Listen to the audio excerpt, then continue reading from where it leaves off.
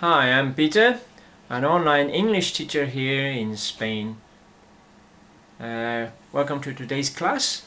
I hope your English is progressively progressing well and you're having a great time, although it's difficult I know to practice.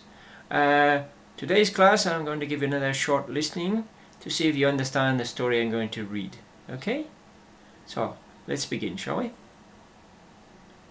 Tim worked in a factory but he was not very good. And he lost his job one day. His wife looked in the newspaper and said, One of the banks is looking for a guard. Ah, I'm going to go there tomorrow, Ted said, and I'm going to ask for that job. It's quite an easy one, and I'm quite strong. The next morning he went to the bank at half past nine and said, I would like that job here, the guard's job. A man gave him a piece of paper. There were a lot of questions on it. Write your answers under the questions, the man said to Ted. One of the questions was, Have you ever been to prison?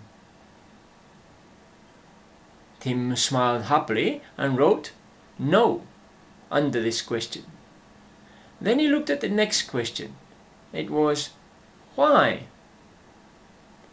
He thought for a long time and then he wrote because the police have never caught me.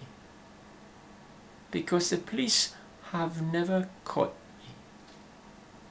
Okay, well, I hope you liked the story. Please grade it according to how you feel. Uh, if you would like a, to write a comment, please do so. I'll be happy to answer any. Uh, if you'd like classes online, please don't hesitate to contact me or subscribe to my page or contact me on my Skype address. Okay, have a great day and I'll see you next time. Bye bye.